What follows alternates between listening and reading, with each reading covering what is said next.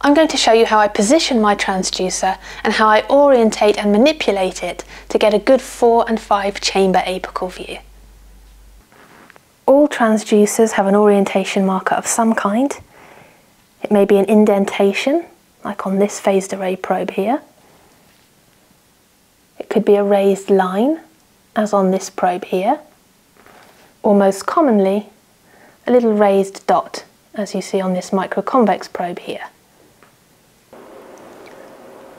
For my apical views, I'm pointing towards the dog's neck and the transducer marker is here on this side. My thumb is on the smooth side.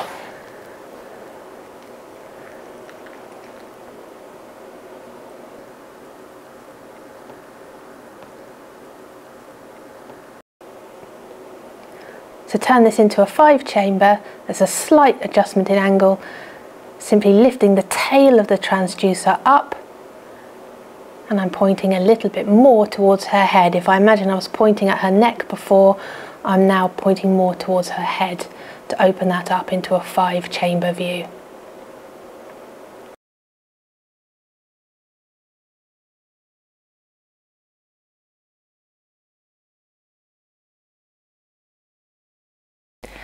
If this video was helpful to you, then please don't forget to subscribe to our channel.